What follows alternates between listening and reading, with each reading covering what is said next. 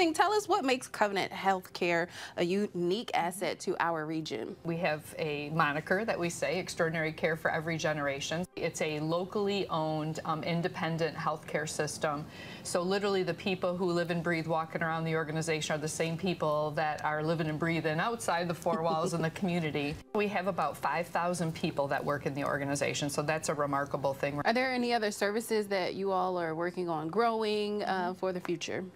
Um, we have some services here that are not provided any other place um, through the Great Lakes Bay region. We literally have services that provide a full scope and range of caregiving, everything from the smallest of our babies, our neonatal mm-hmm. babies, um, all the way up to geriatric care. Tell us a little bit about some of the important relationships Covenant has mm-hmm. inside as well as outside mm-hmm. within the community. We have an incredible culture here. Um, it's established on the We Care values, and one of those things is working together, and we've kind of of taken that a step further. So it's not just always inside the four walls and the entity of Covenant proper, but we've also leveraged relationships outside the organization. In Grand Rapids, there was Mary Free Bed Rehabilitation yeah. Hospital, and so they're world renowned and recognized for rehabilitation medicine. So we forged a partnership with them and then built a brand new asset yeah. um, here. And now we have that world class um, care that's provided right here in the Great Lakes Bay region. And that's really just a tremendous way to leverage a partnership. Now, can you kind of explain the backstory behind Mary Free Bed itself? We'll get to the joint venture with Covenant, but can you explain explain that for us? The Mary Free Bed Guild started with a group of women back in 1891. They got together and they wanted to provide health care to those who couldn't afford it. And so what they did is they took a little black purse out in the community and they passed it around and they asked for anyone um, whose name was Mary or who knew someone whose name was Mary to donate 10 cents into the purse.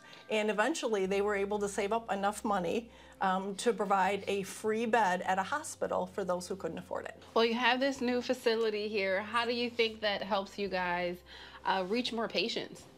Um, so we are the biggest um, rehab hospital um, in northern Michigan, and it, because we expanded when we moved to this new building um, we expanded from 41 beds to 60 beds, which is all private rooms. And so it allows us to provide care to more patients, not just patients that are at Covenant Hospital, mm -hmm. but through any patients throughout the region, throughout the state.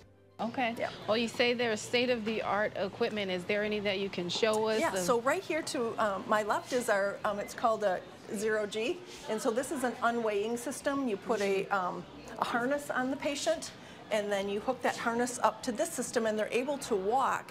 Well, thank you so much, Sally. Was there anything else that you'd like to add? We have a lot of rehab services in Saginaw and then throughout the Great Lakes Bay region. We have physical and occupational therapy clinics in Hemlock, Frankenmuth, Bay City, and then two others in Saginaw Township. So a lot of, lot, you know, hopefully we're close to home.